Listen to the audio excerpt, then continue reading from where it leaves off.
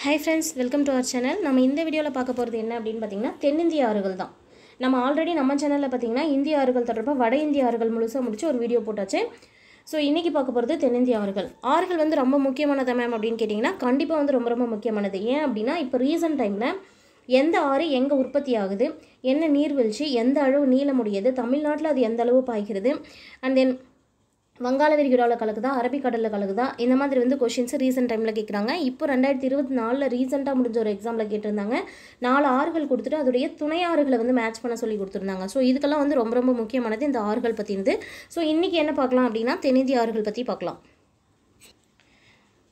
So பாருங்கள் இந்த தென்னிந்தியார்களுடைய common points வந்து ஒரு நாலு கொடுத்துருக்கேன். தீபகற்ப இந்திய ஆறுகள்னு அதுக்கு இன்னொரு பேர் இருக்குது தென்னிந்தியா வந்து தீபகற்பம்னு சொல்கிறோம் இல்லையா? அதனால் தீபகற்ப இந்திய ஆறு அப்படின்னு சொல்லிட்டு தென்னிந்தியாருக்கு ஒரு பேர் இருக்குது இது எல்லாமே எங்கே தொடங்குது அப்படின்னு பார்த்தீங்கன்னா மேக்ஸிமம் இங்கே உற்பத்தி ஆகிற எல்லா ஆறுகளுமே மேற்கு தொடர்ச்சி மலையில் உற்பத்தி ஆகிறதா தான் இருக்கும். பருவகால அல்லது வற்றுமாறுகள்னு இதுக்கு இன்னொரு பேர் இருக்குது சரியா? பருவகால அல்லது வற்றுமாறுகள். இது எத்தனை பிரிவுகளாக பிரிக்கப்படுதுன்னா ரெண்டு பிரிவுகள். ஒன்று கிழக்கு நோக்கி பாயும் மேற்கு நோக்கி பாயும் இந்த கிழக்கு நோக்கி பாயும் மேற்கு நோக்கி பாயும் கன்ஃபியூஸ் கன்ஃபியூஸ் ஆகக்கூடாது இந்த மேற்கு பக்கத்தில் வந்து டச் ஆகியிருக்கும் இல்லையா? அது வந்து மேற்கு நோக்கி பாயிற ஆறுகள் கிழக்கு பக்கம் வந்து டச் ஆகி இருக்கக்கூடிய ஆறுகள் வந்து கிழக்கு நோக்கி பாயும் ஆறுகள் கிழக்கு நோக்கி பாயக்கூடிய ஆறுகள் எல்லாமே எங்கே போய் தான் கலக்கும் அப்படின்னு பார்த்தீங்கன்னா வங்காள விரிகுடாவில் கலக்கும். சரிங்களா? மேற்கு நோக்கி பாயும் ஆறுகள் எல்லாமே எங்கே கலக்கும் அப்படின்னு பார்த்தோம்னா அரபிக்கடலில் கலக்கும். இது ரெண்டையும் ஞாபகம் வச்சுக்கோங்க இந்த பிக்சரை வச்சு. ஸோ இதுலேயே இந்த கிழக்கு நோக்கி பாயும் ஆறுகளில் எத்தனை பார்க்க போகிறோம் அப்படின்னா ஒரு நாலு ஆறுகள் பார்க்க போகிறோம் மேற்கு நோக்கி பாயும் ஆறுகளில் ரெண்டு ஆறுகள் பார்க்க போகிறோம் கிழக்கு நோக்கி பாயக்கூடிய ஆறுகள் என்னென்ன அப்படின்னு பார்த்தோம்னா மகாநதி கோதாவரி கிருஷ்ணா காவேரி. மேற்கு நோக்கி பாயும் ஆறுகளில் பார்க்கக்கூடியது நர்மதை மற்றும் தபதி. சரிங்களா? இதில் ஃபஸ்ட்டு வந்து மகாநதி பார்க்கலாம். மகாநதியில் ஒரு அஞ்சு பாயிண்ட் இருக்குது என்னென்னா அது உற்பத்தி ஆகிற இடம் நீளம் அப்புறம் எங்கே கலக்குது துணையாறு இந்த நாலு வந்து எல்லா ஆறுகளுக்குமே வந்து காமனாக இருக்கக்கூடிய பாயிண்ட்ஸ் சரியா? இதை கொஞ்சம் கன்ஃபியூஸ் ஆகாமல் படிச்சுக்கணும். மகாநதியை பொறுத்த வரைக்கும் எங்கே உற்பத்தி ஆகுது அப்படின்னு பார்த்தோம்னா சத்தீஸ்கர் மாநிலம். மகா அப்படின்னு சொல்லிட்டு மகா சக்தி அப்படின்னு சொல்லுவோம் இல்லையா? அதை வச்சு ஞாபகம் வச்சுக்கோங்க. சத்தீஸ்கர் மாநிலத்தில் ராய்ப்பூர் மாவட்டத்தில் சிதா அப்படிங்கிற இடத்துல வந்து மகா சிதா. ஸோ மகாங்கிறதும் சீதாங்கிறதும் பொண்ணோட நேம் தான். ஸோ மகா அப்படிங்கிறது தொடங்குற இடம் சீதா அப்படின்னு ஞாபகம் வச்சுக்கோங்க.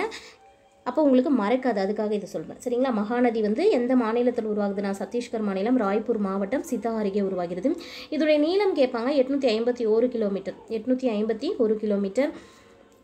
ஸோ இது வந்து கிழக்கு நோக்கி பாயும் ஆறு அப்படின்னாவே எங்கே தான் போய் கலக்கும்? வங்காள விரிகுடாவில் கலக்கும். ஸோ பல கிளைகளாக பிரிந்து ஒரு பெரிய டெல்டாவை வந்து உருவாக்கக்கூடியது. இந்த- இந்த தென்னிந்திய ஆறுகள்லேயே மகாநதி தான் பெரிய டெல்டாவை உருவாக்கும். சரிங்களா? பல கிளைகளாக பிரிந்து பெரிய டெல்டா உருவாக்கும். அது ஒரு பாயிண்ட் எக்ஸ்ட்ரா துணையாறுகள் பார்த்தீங்கன்னா சீனாத்து டெலனு சந்தூர் சித்ரட்லா கெங்குட்டி நன்னு. மேம் இதை எப்படி நம்ம ஞாபகம் வைக்கிறது அப்படின்னு கேட்டிங்கன்னா ஒரு டைம் படிக்க வேண்டிய இடத்துல நம்ம நாலு டைம் படித்தாகணும் அப்படி இருந்தால் மட்டும்தான் உங்களுக்கு வந்து துணையாறுகள் வந்து மெமரி ஆகும். சரிங்களா? துணையாறுகளில் மகாநதிக்கு துணையாறு சீனாத் டெல்லனு சந்தூர் சித்ரட்லா கெங்குட்டி நன்னு. சரிங்களா? அடுத்து பாருங்கள் கோதாவரி கொடுத்துருக்கேன். கோதாவரியில் ஒரு எட்டு பாயிண்ட் பார்க்க போகிறோம் அதில் காமனாக இருக்கக்கூடியது பார்த்திங்கன்னா எது எதுனா அது எங்கே தொடங்குது? அதோடைய எங்கே போய் வந்து கழக்குது? அதோடைய துணை ஆறுகள் எவ்வளோ நீளம் அப்படிங்கிறதெல்லாம் வந்து காமன் பாயிண்ட்ஸு அதை தாண்டி இன்னும் ஒரு நாலு பாயிண்ட் எக்ஸ்ட்ரா படிக்க போகிறோம்னு வச்சுக்கோங்களேன். இப்போ ஃபஸ்ட்டு ஃபஸ்ட்டு இது முக்கியமாக கோதாவரி அப்படின்றதுமே நமக்கு ஞாபகம் வர வேண்டியது. தீபகற்ப இந்திய ஆறுகள்லேயே மிக நீளமான ஆறு எது அப்படின்னு பார்த்தீங்கன்னா கோதாவரி தான். ஸோ நீளமானதுன்னு சொல்லும் போதே நம்ம அங்கே வந்து நம்ம என்ன பண்ணணும்? அதோடைய லென்த்தை படிச்சு வச்சுக்கணும். ஆயிரத்தி நானூற்றி அறுபத்தஞ்சு கிலோமீட்டர் நீளமுடையது கோதாவரி. ஆயிரத்தி நானூற்றி அறுபத்தஞ்சு கிலோமீட்டர் இது எங்கே துவங்குது அப்படின்னு பார்த்தீங்கன்னா மகாராஷ்டிரா கோதாவரியுடைய துவக்கம் எங்கே? மகாராஷ்டிராவில் நாசிக் மாவட்டத்தில் இருக்கக்கூடிய மேற்கு தொடர்ச்சி மலையில் உருவாகுது. இந்த கோதாவரிக்கு இன்னொரு பேர் இருக்குது விருத்த கங்கா சரிங்களா? கோதாவரியுடைய இன்னொரு பெயர் என்ன? விருத்த கங்கா இதோடைய வடிகால் அமைப்பு அதாவது இந்த கோதாவரி ஆற்றின் மூலமாக பாயக்கூடிய அந்த பரப்பளவு எவ்வளோ அப்படின்னு பார்த்தீங்கன்னா மூணு புள்ளி பதிமூணு லட்சம் சதுர கிலோமீட்டர். கோதாவரியுடைய வடிகால் அமைப்பு மூணு புள்ளி பதிமூணு லட்சம் சதுர கிலோமீட்டர்.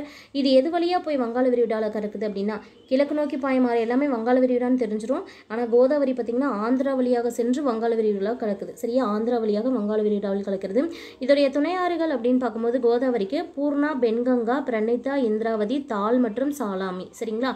ரெண்டு ரெண்டாக பறிச்சுக்கோங்க. பூர்ணா பென்கங்கா பிரணீதா இந்திராவதி தால் மற்றும் சாலாமி. இது ஆறு துணையாறுகள் வந்து கோதாவரி இது மிக முக்கியமான துணையாறுகள். அது மட்டும் இல்லாமல் இந்த ராஜமுந்திரி பக்கத்தில் ராஜமுந்திரி அப்படிங்கிற பிளேஸுக்கு பக்கத்தில் ரெண்டு பிரிவாக இந்த கோதாவரி பிரியுது. ஒன்று என்ன அப்படின்னு பார்த்தோம்னா கௌதமி இன்னொன்று வசிஷ்டா. சரியா? இது ரெண்டாக பிரிஞ்சு என்ன ஆகுதுன்னா அங்கே ஒரு பெரிய டெல்டாவை உருவாக்குது. சரிங்களா? ராஜமுந்திரிக்கு பக்கத்தில் கோதாவரி பார்த்திங்கன்னா ராஜமுந்திரிக்கு பக்கத்தில் ரெண்டு பிரிவாக கௌதமி வசிஸ்தான் பிரிஞ்சு ஒரு மிகப்பெரிய டெல்டா பகுதியை உருவாக்குது. அடுத்து பாருங்கள் கோதாவரி டெல்டாவில் நன்னீர் ஏரி ஒன்று இருக்குது இதுவும் முக்கியமானது கொள்ளேரி ஏரி. ஸோ நம்ம எக்ஸ்ட்ரா ரெண்டு பாயிண்ட் பொதுவான பாயிண்ட்டோட எக்ஸ்ட்ரா மிக முக்கியமானது ரெண்டு பார்க்குறது என்னென்னா தீபகற்ப இந்தியாவில் பாயக்கூடிய மிக நீளமான ஆறுன்னு கேட்டாங்கன்னா கோதாவரி சொல்லணும். கோதாவரி டெல்டாவில் இருக்கக்கூடிய நன்னீர் ஏரி என்ன அப்படின்னு கேட்டாங்கன்னா கொள்ளேரி ஏரி. ஸோ கொள்ளேரி ஏரி எந்த நன்னீர் அதாவது இந்த நன்னீர் ஏரியான கொள்ளீர் ஏரி எந்த டெல்டாவில் இருக்குது அப்படின்னு கேட்டாங்கன்னா கோதாவரி டெல்டான்னு சொல்ல தெரியணும் அடுத்து பாருங்கள் கிருஷ்ணா நதியை பற்றி ஒரு ஆறு பாயிண்ட் இருக்குது இது வந்து தீபகற்ப இந்தியாவில் ரெண்டாவது பெரிய ஆறு. ஸோ கோதாவரிக்கு அடுத்ததாக நீளமானது எதுன்னு கேட்டாங்கன்னா தீபகற்ப இந்தியாவிலே ரெண்டாவது பெரிய ஆறு கிருஷ்ணா தான். இது பார்த்திங்கன்னா மகாராஷ்டிராவில் தான் தொடங்குது. வெறும் மோ மேற்கு தொடர்ச்சி மலைன்னு கொடுக்காம மேற்கு தொடர்ச்சி மலையிலே மகாபலேஸ்வர் அப்படிங்கிற இடத்துல அப்படின்னு சொல்லியிருக்காங்க. சரியா? மகாராஷ்டிராவின் மேற்கு தொடர்ச்சி மலையில் மகாபலேஸ்வர் அப்படிங்கிற பிளேஸில் உற்பத்தி ஆகிறது கிருஷ்ணா. அடுத்து பாருங்கள் ஆயிரத்தி நானூறு கிலோமீட்டர் நீளமுடையது. சரியா? ஆயிரத்தி நானூறு. அது பார்த்திங்கன்னா ஆயிரத்தி நானூற்றி அறுபத்தஞ்சு கிலோமீட்டர் அப்படின்னு பார்த்தோம். இங்கே ஆயிரத்தி நானூறு கிலோமீட்டர். ஒரு சிக்ஸ்டி ஃபைவ் கிலோமீட்டர் வந்து டிஃப்ரென்ஸ் வருது இது ரெண்டுக்குமே. கிருஷ்ணா நதியோடைய நீளம் ஆயிரத்தி நானூறு கிலோமீட்டர். இதுவே எவ்வளோ வடிநிலம்? அந்த பரப்பளவு பாயக்கூடிய பரப்பளவு அப்படின்னு பார்த்தோம்னா இரநூத்தி ஐம்பது லட்சம் சதுர கிலோமீட்டர். சரிங்களா? இரநூத்தி ஐம்பது லட்சம் சதுர கிலோமீட்டர். அடுத்து பாருங்கள் துணையாறுகள் அப்படின்னு பார்க்கும்போது கொய்னா முசி துங்கபத்ரா பீமா மற்றும் பெடவாறு. இதுக்கும் பாருங்கள் கொய்னா முசி துங்கபத்ரா பீமா பெடவாருன்னு சொல்லிட்டு ஐந்து முக்கியமான துணையாறுகள் இருக்குது இதுவுமே பார்த்தீங்கன்னா ஆந்திரா வழியாக போயிட்டு ஹம்சலா தேவி அப்படிங்கிற இடத்துல வங்காள விரிவுகளில் கலக்குது. குறிப்பிட்ட பிளேஸ் வந்து உருவாகிற இடத்துக்கும் அந்த சேர்ற இடத்துக்கும் இதுக்கு மென்ஷன் பண்ணி கொடுத்துருக்காங்க பாருங்கள் கிருஷ்ணாவுக்கு வந்து மகாபலேஸ்வர் அப்படிங்கிற இடத்துல தொடங்குது. ஹம்சலா தேவி அப்படிங்கிற இடத்துல வங்காள விரிவுடாவில் கலக்குது. சரிங்களா? நெக்ஸ்ட் பார்க்க போகிறது காவேரி. இதில் ஒரு எட்டு பாயிண்ட் இருக்குது சரியா? கர்நாடக கர்நாடகாவில் குடகு மலையில் தலைக்காவேரி அப்படிங்கிற இடத்துல உற்பத்தி ஆகுது. இது நம்ம அடிக்கடி படிச்சிருக்கிறதுனால ஈஸியாக ஞாபகம் பாயிண்ட் கர்நாடகா குடகுமலை தலைக்காவேரி இதோட நீளம் அப்படின்னு பார்க்கும்போது எட்நூறு கிலோமீட்டர் தென்னிந்தியாவின் கங்கை என அழைக்கப்படுகிறது. இது ஒரு டிஃப்ரெண்ட்டான பாயிண்ட் தென்னிந்தியாவின் கங்கை என அழைக்கப்படுவது காவேரி. அடுத்து பாருங்கள் இதோடைய துணையாறுகள் அப்படின்னு பார்த்தோம்னா ஹேரங்கி ஹேமாவதி கபினி பவானி. ரெண்டு ரெண்டாக பிரிச்சுக்கோங்க இங்கேயுமே. ஹேரங்கி ஹேமாவதி கபினி பவானி அர்க்காவதி நொய்யல் அமராவதி. இது மூணையும் சேர்த்து படிங்க. ஹர்காவதி நொய்யல் அமராவதி. இது ரெண்டு ரெண்டாக பிரித்து படிங்க.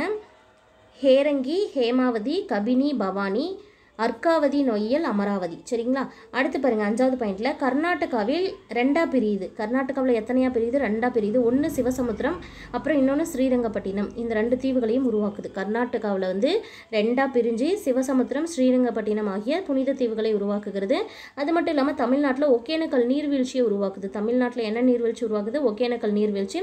திருச்சிக்கு முன்னாடி என்ன பண்ணுது அப்படின்னு பார்த்தீங்கன்னா ஸ்ரீரங்கம் பக்கத்தில் ரெண்டாக பிரியுது. ஒன்று வந்து கொள்ளிடம் காவேரி அப்படின்னு சொல்லிட்டு ரெண்டாவும் பாருங்கள் பாருங்க இதே ஆறு காவேரி பார்த்தீங்கன்னா ஃபர்ஸ்ட் கர்நாடகாவில் சிவசமுத்திரம் மற்றும் ஸ்ரீரங்கப்பட்டினம் அப்படின்னு ரெண்டு புனித ஆறுகள் வந்து உருவா புனி- புனித தீவுகளை வந்து உருவாக்குது.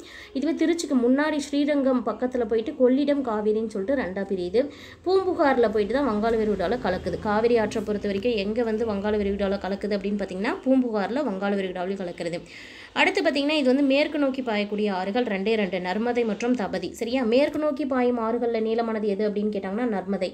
இந்த இடத்துல பாருங்கள் கிழக்கு நோக்கி பாயும் ஆறுகளில் மிக நீளமானது எது அப்படின்ற கொஷினுக்கு உங்களால் ஆன்சர் இங்கே ரீகால் பண்ணிக்க முடியுதா அப்படின்னு பாருங்கள் எனக்கு ரீகால் பண்ண முடியுது உங்களுக்கு ரீகால் பண்ண முடியுது அப்படின்னா இந்த செகண்டை வந்து இந்த லைனை படிக்கும்போது கீழே கமெண்ட் பண்ணுங்கள் சரிங்களா? அடுத்து பாருங்கள் தோற்றம் எங்கே அப்படின்னு பார்த்தோம்னா மத்திய பிரதேசத்தில் அமர்கண்டாக் பீடபூமியில். சரியா? மத்திய பிரதேசம் அமர்கண்டாக் பீடபூமி. இதோடைய நீளம் பார்த்தோம்னா பதிமூணு பன்னெண்டுன்னு ஞாபகம் வச்சுக்கோங்க நர்மதைக்கு. பதிமூணு பன்னெண்டு கிலோமீட்டர் அதாவது ஆயிரத்தி முந்நூற்றி பன்னிரெண்டு கிலோமீட்டர். எவ்வளோ வடிநில பரப்பு வந்து பாய்ச்சல் தருது அப்படின்னு பார்த்தோம்னா தொண்ணூற்றி எட்டாயிரத்தி எழுநூற்றி தொண்ணூற்றி ஆறு சதுர கிலோமீட்டர் தொண்ணூற்றி எட்டாயிரத்தி எழுநூற்றி தொண்ணூற்றி ஆறு சதுர கிலோமீட்டர் பரப்பை வடிநிலமாக இருக்குது இதுக்கு. சரிங்களா? இதோடைய முக்கியமான துணையாறுகள் அப்படின்னு பார்க்கும்போது பர்னா ஹலூன் ஹரன் பஞ்சர். சரிங்களா? இதில் இந்த பர்ணாவையும் பஞ்சரையும் ஒன்றா படிச்சுக்கோங்க. ஹலூன் ஹெரன் ரெண்டையும் ஒன்றா படிச்சுக்கோங்க. பர்ணா பஞ்சர் ஹலூன் ஹெரன். அப்புறம் மீதி இருக்கிறது பாருங்கள் தூதி சக்கர் டவா கோலர் சரியா? இந்த சக்கரும் கோலரையும் ஒன்றா படிச்சுக்கோங்க. தூதி மற்றும் டவா இது ரெண்டையும் ஒன்றா படிச்சுக்கோங்க. சரியா? எப்படி படிக்கணும்னு பாருங்கள் இந்த ஹலூன் ஹரன் இது தனி பர்ணா பஞ்சர் இது தனி தூதி மற்றும் டவா இது தனி சக்கார் கோலர் அதாவது இர்ன்னு முடியுது இல்லையா? அதனால் சொல்கிறேன் சக்கார் கோலர் இது ரெண்டு எழுத்து தான் வருது. தூதி மற்றும் டவா அப்படிங்கிறது. ஹலூன் மற்றும் ஹெரன் அப்படிங்கிறது வந்து ஹா ஹே வரிசையில் வருது. சரியா? பர்ணா பஞ்சருங்கிறது பா வரிசையிலே வரதுனால தனித்தனியாக பிரித்து படிக்கும்போது நீங்கள் நோட் பண்ணும்போது இந்த மாதிரி தனியாக எடுத்து எழுதி வச்சிட்டிங்கன்னா உங்களுக்கு யூஸ்ஃபுல்லாக இருக்கும் ரீகால் பண்ணும்போது. ஸோ எல்லா ஆறுகளுக்கும் கொடுக்காம இங்கே ஒன்று டிஃப்ரெண்ட்டாக கொடுத்துருப்பாங்க. நர்மதைக்கு பார்த்தீங்கன்னா இருபத்தி ஏழு கிலோமீட்டர் தூரத்துக்கு கழிமுக பகுதியை உருவாக்குது அப்படின்னு சொல்லி கொடுத்துருப்பாங்க. நர்மதை ஆறு வந்து எத்தனை கிலோமீட்டர் கழிமுகம் அப்படின்னு பார்த்தா இருபத்தி ஏழு கிலோமீட்டர் இது வந்து அரபிக்கடலில் தான் கலக்கும்னு தெரியும் நமக்கு. மேற்கு நோக்கி பாயிற ஆறு. எது வழியாக அப்படின்னா காம்பே வளைகுடா வழியாக அரபிக்கடலில் கலக்கிறது. ஸோ அடுத்தது லாஸ்ட்டாக பார்க்குறது என்னென்னா தபதி ஆறு. சரிங்களா? தபதி வந்து பார்த்திங்கன்னா எம்பின்னு கொடுத்துருக்கோம் இல்லையா? மத்திய பிரதேஷ் அப்படின்னு அர்த்தம். மத்திய பிரதேசத்தில் பெட்டூல் அப்படிங்கிற மாவட்டத்தில் முல்டாயில் உற்பத்தி ஆகிறது தான் தபதி. சரிங்களா? எந்த மாநிலம் அப்படின்னு பார்த்தீங்கன்னா மத்திய பிரதேஷ் எந்த மாவட்டம்னு கேட்டால் மெட்டூல் சாரி பெட்டூல் மாவட்டம் பிளேஸ் வந்து முல்டாயில் உற்பத்தி ஆகுது இதோடைய நீளம் அப்படின்னு பார்க்கும்போது எழுநூற்றி இருபத்தி நாலு கிலோமீட்டர் ஸோ டயக்ராம்லேயே பார்த்தீங்கன்னா தபதி தான் வந்து கொஞ்சம் குட்டியாக இருக்கும் சரியா? நர்மதை நீளமாகவும் அது கீழே தபதி வந்து சிறியதாகவும் இருக்கும். ஸோ எழுநூற்றி இருபத்தி நாலு கிலோமீட்டர் நீளம் உடையது இதோடைய வடிநிலம் அப்படின்னு பார்க்கும்போதும் வந்து அறுபத்தி அஞ்சாயிரத்தி நூற்றி நாற்பத்தி அஞ்சு சதுர கிலோமீட்டர் பரப்பளவுடையது. இதோடைய துணையாறுகள் அப்படின்னு கேட்டாங்கன்னா இங்கே வா மட்டும் கொடுத்துருக்கேன் பாருங்கள் ஆக்சுவலாக அது வாஹி ஞாபகம் வச்சுக்கோங்க. வாஹி வாஹி கோமை அருணாவதி அனர் நீசு புரே புன்சாரா மற்றும் போரி. நீசு புரே புன்சாரா போரி வாகி கோமை அருணாவதி மற்றும் அனேர் அப்படிங்கிறவங்க. இந்த நாளையும் ஒன்றா படிங்க இந்த நாளையும் ஒன்றா படிங்க. கொஞ்சம் படிக்க ஈஸியாக இருக்கும். சரியா? இந்த நாள் ஃபஸ்ட் நாள் செகண்ட் நாளும் தனித்தனியாக பிரித்து படிச்சுக்கோங்க. காம்பே வளைகுடாவில் தான் இதுவுமே பார்த்திங்கன்னா அரபிக்கடலில் கலக்குது. காமனாக நம்ம நர்மதை தபதி மட்டும்தான் படிச்சிருந்திருப்போம். மாஹி அப்படிங்கிற ஆறுமே பார்த்திங்கன்னா கிழக்குலேருந்து மேற்கு நோக்கி பாயக்கூடிய ஆறு தான் ஜஸ்ட் ஒரு லைனாக மட்டும்தான் இதை வந்து புக்கில் கொடுத்துருப்பாங்க. நர்மதை தபதி மாஹி இது மூணுமே வந்து கிழக்கிலிருந்து மேற்கு நோக்கி பாயும் ஆறுகள் தான். தென்னிந்திய ஆறுகளுடைய சிறப்பியல்புகள் அப்படின்னு பார்க்கும்போது எல்லாமே மேற்கு தொடர்ச்சி மலையில் உருவாகுது. இந்த ஆறுகள் எல்லாமே குறுகலானவை மற்றும் நீளம் வந்து குறைவானவை. வற்றக்கூடிய ஆறுகள் அதாவது பருவகால ஆறுகள் அல்லது வற்றும் ஆறுகள் நீர் மின்சாரம் உற்பத்தி செய்ய முடிகிறது நீர் போக்குவரத்துக்கும் உகந்ததாக இருக்கிறது. இது ரெண்டு ப்ளஸ் பாயிண்ட் சரியா? நீர் மின்சாரம் உற்பத்தி செய்ய முடிகிறது நீர் வ நீர்வழி போக்குவரத்துக்கும் உதவுகிறது. எல்லாமே மேற்கு தொடர்ச்சி மலையில் உருவாகுது. குறுகலானது குறைவான நீளமுடையது வற்றக்கூடியது. சரிங்களா? ஸோ ஃப்ரெண்ட்ஸ் நெக்ஸ்ட் வீடியோவில் வேற ஒரு டாப்பிக்கோடு பார்க்கலாம். நம்ம சேனல் இப்போ தான் ஃபஸ்ட் டைம் பார்க்குறீங்க அப்படின்னா சேனலை சப்ஸ்கிரைப் பண்ணிக்கோங்க. பக்கத்தில் இருக்கிற பெல்லைக்கனை கிளிக் பண்ணி ஆல்னு செட் பண்ணி வச்சுக்கோங்க. முடிஞ்ச வரைக்கும் நம்ம சேனலுக்கு சப்போர்ட் பண்ணணும்னு நினச்சிங்கன்னா நம்ம சேனலோட லிங்க்கை ஃப்ரெண்ட்ஸுக்கு ஷேர் பண்ணி விடுங்க தேங்க்யூ